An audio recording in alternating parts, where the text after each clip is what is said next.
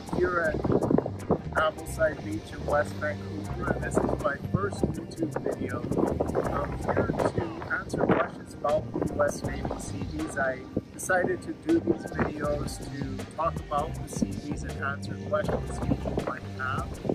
I was a Seabee from 1998 to 2005. I got out as a BU2 and I also applied and got accepted to the US Naval Academy as an enlisted. So I can talk about that process as well.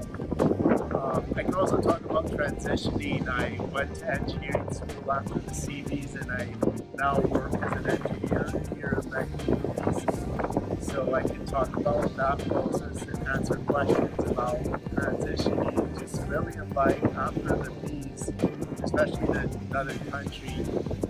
You have any questions about the Seabees or comments, please leave them in the comment section below. And see you on the next video.